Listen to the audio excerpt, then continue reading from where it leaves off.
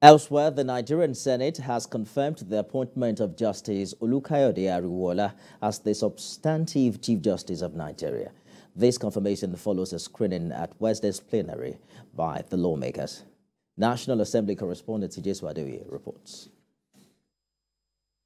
Justice Ariwoola was ushered into the Senate chambers by the senior special assistant to the president on National Assembly matters, Senator Babajide Omoworare.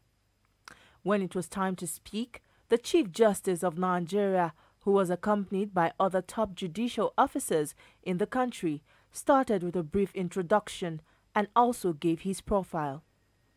During the screening process, federal lawmakers questioned Justice Ariwoola on various subjects within his jurisdiction and how he intends to confront the challenges in the third arm of government.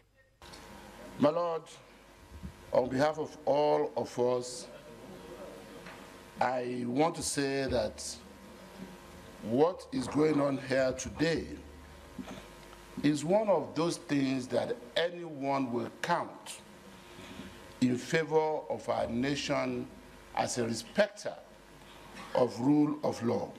My Lord, by way of a comment and reassurance which I'm seeking from you, we want to, we want to prevent a reoccurrence of that development. Witness unnecessary delay in the administration of justice in our country. The Supreme Court suffers that the most, maybe because we need more justice at that court. In his response, the new CJN committed to raising the bar in the dispensation of justice. We did not write petition. It was an internal memo of, not of the court, even, but of justices. The Senate then voted to confirm Justice Ariwoola after thoroughly screening him for about two hours.